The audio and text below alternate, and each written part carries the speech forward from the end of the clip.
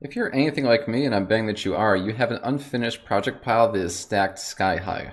Have you ever taken a second to consider why that happens? If I look at all of my unfinished projects, they're all pretty much unfinished for one of two reasons. The first is that I either didn't plan it well enough, so it didn't progress in the way that I wanted to. And the second is that I just dreamt too big. I wanted to create a project that was just larger than I was able to commit to.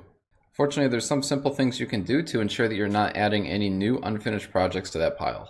So this is how to plan a software project for success. Now keep in mind these steps do assume that you already have an idea on what you want to make. If you don't even know what to make at all, I can't really help you with that in this video. For the purpose of this video, I'm going to pretend like my idea for a new software project is a website that lets you go buy coffee beans online. So now that I have my idea, the first step is going to be brainstorm ideas about your idea. If you have a whiteboard, now is the time to break it out. Otherwise, you can use a piece of paper, that works too. But the whole point here is just to get ideas down in a place that you can see and figure out how you want to proceed.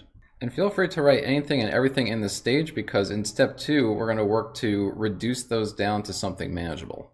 So if I was brainstorming ideas about a coffee bean website, I'd be writing things down like coffee bean suggestion, you know, registration forms, checkout, e-commerce, and so on. And maybe I also want a place for the most purchased coffee bean, and then a place for people to upload pictures where they're taking selfies with their coffee beans. I don't know.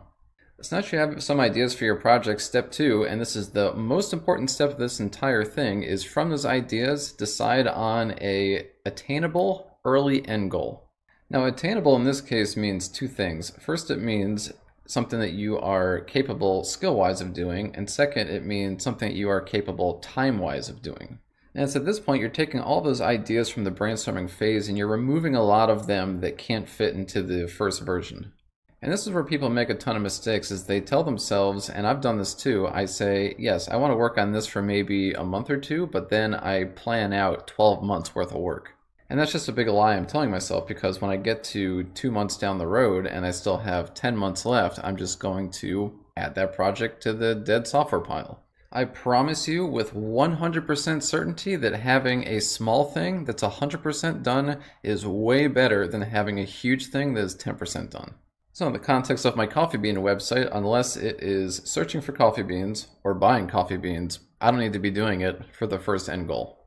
The thing that kills most projects, I think, is what I like to call the 99% problem. And essentially what the 99% problem is, is it's when it takes you a month to finish 99% of your project, but then it takes another month to finish 99.5% of your project. And then from there, it's just this asymptote where you're constantly getting closer to 100%, but you never actually get there.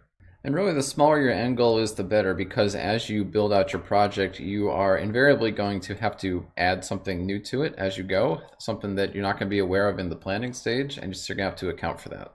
Okay, so if you've made it through the brainstorming phase and you have some ideas and you know a good end goal in mind, from here it gets a little bit easier. So step three is going to be determine the appropriate tech stack for the thing you want to build. So what you do in this step is kind of based on what your skill level is. If you know a bunch of different technology, then you have some options to choose what works best. Of course, some of you may just know one thing, and in which case you're just going to use that.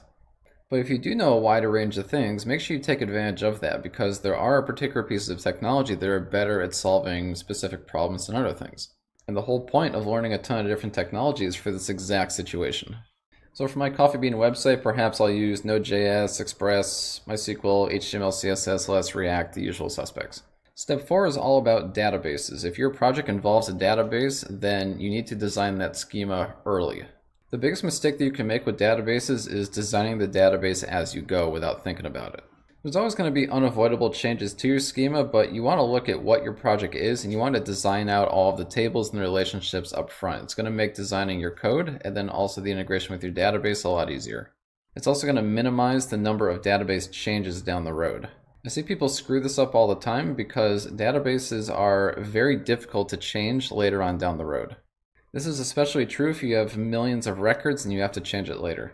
I assure you it's very painful and you want to avoid it if you can. Step five is to identify any third-party tools that you could possibly use to speed up the process of building your project.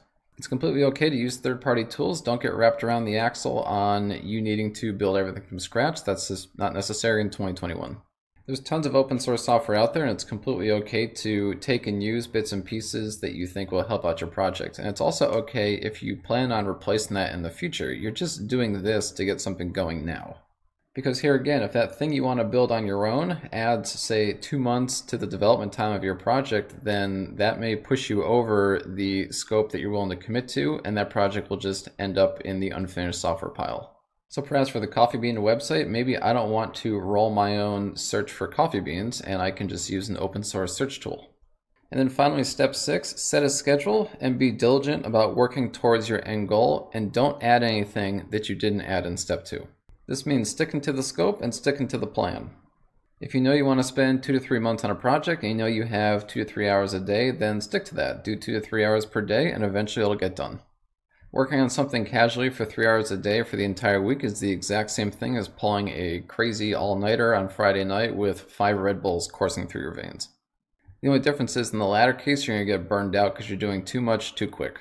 And if you followed all these steps, then you've gone from ideation of something new to a small thing that is 100% complete in the time frame that you wanted to work on it in. And hopefully you did so in a way that was both leisurely and enjoyable. So just to summarize the steps again, start by brainstorming the ideas, and then from those ideas, determine an attainable early end goal, then determine the appropriate tech stack for the project you want to do. If the project involves a database, design that schema up front, identify any third-party tools that might help speed up the process, and finally set an appropriate schedule and be diligent about working towards the end goal that you set in step two. This is the standard process that I've used for all new projects going forward and it's served me pretty well so far. If you have any questions or feedback about anything that I discussed, please be sure to leave those below in the comments. Thanks a lot for watching.